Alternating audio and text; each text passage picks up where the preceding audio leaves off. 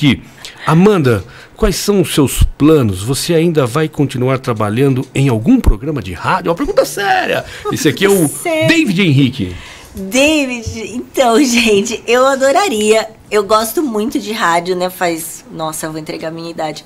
Faz 20 Meu, Você tá batendo uns quarentinha já, hein? É, que batendo 40? Você peraí também. Não tá batendo. 40?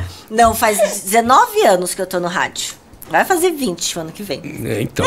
Vai fazer 40, tá pertinho dos É 40. uma coisa que pezinho. eu adoro muito, mas, tipo, hoje eu não consigo conciliar com o meu trabalho essa rotina de programa diário, sabe? De rádio, todo santo dia, certinho, porque eu, eu tenho a minha empresa e ela demanda mu- muita, muito de mim, assim. Por mais que eu tenha minhas colabora- as colaboradoras, os funcionários e tal, eu que tenho que estar né, organizando tudo. Então, não dá pra, pra fazer uma coisa que eu gosto, sabe, hoje em dia. Porque se eu for fazer rádio, vai ser porque gosta. Sim, mas o rádio, pra quem gosta, olha, eu estou. pra quem gosta. Estou no rádio.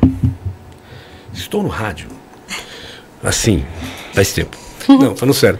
Estou no rádio há 28 anos, sendo que desses 28 anos, por 4 anos eu dei um tempo, e eu estou no ar, falando quase que todos os dias há 21 anos. Sem parar. Nossa, gente. Sem parar. Ah, algo que é difícil. Aí merece sim um tratamento. É algo que ficar sem estar nesse ambiente, é algo que me deixa, deixa malzão. Não, não gosto, não curto. É, você É, fica um viciadão, tenho, né? tenho, tenho outra atividade, faço outras coisas. Opa, chegou aqui. Gente, olha, ele pega só- esse cheiro. Chegou, chegou, chegou, chegou. Mas antes de falar aqui do nosso Bonaparma, é, essa coisa do microfone, eu, eu acho muito difícil que um dia eu pare. Eu sinto muita falta. Eu Por isso que eu falta. sempre fico nessa. Eu vou, eu volto, eu faço uma coisa aqui, outra ali.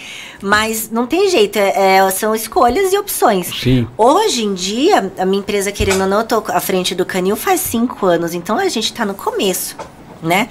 Você começa quebrando a cara. Agora que eu consegui alinhar as coisas e, e- e fazer crescer. Então eu tenho muito chão pela frente no Canil. Então eu tenho que né, ficar 100% ali. Sim. Não sei daqui um tempo, quando as coisas estiverem mais tranquilas e tal, talvez eu consiga conciliar, mas hoje eu não consigo conciliar. E eu não gosto Quem de sabe a trabalhar Amanda Mello aqui no feriado. 102 Play, 102 Ah Play, lá. no canal aqui, fazendo Uma vez alguma por semana coisa. eu acho que daria, viu? Porque de feriado eu não aguento mais.